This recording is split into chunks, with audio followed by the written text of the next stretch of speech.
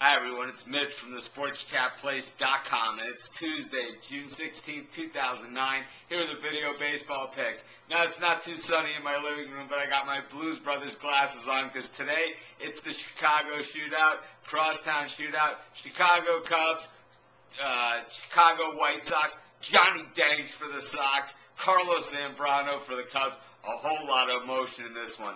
Yeah, there's some rivalries out there in the sports world that are friendly rivalries and respect respectful rivalries. This isn't one of them. These are two teams and two fan bases that generally do not agree on anything.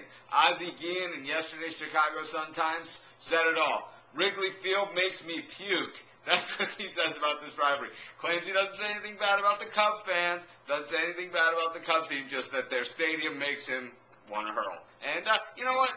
the Chicago Cubs hitting makes me want to hurl too. I'm gonna go Johnny Danks in this one plus 135. Shoot, I can't root for the Cubs. I'm gonna be rooting like crazy for the Sox anyway. Might as well, you know, might as well say that they're gonna win. Uh, I think they were hitting the ball a little bit better. I think they're playing better baseball. Yeah, the home teams in this series swept uh, both sides of it last year. I think the uh, Sox end that tonight. Johnny Danks gets the win. We're going to rate this one a 3 out of 10 because I'm betting this one with my heart, not my head, but, uh, you know, whatever it takes. So this is Mitch from the SportsChatPlace.com. Thanks for joining me. Be sure to check out all of our sports picks, write-ups, and action here at the SportsChatPlace.com.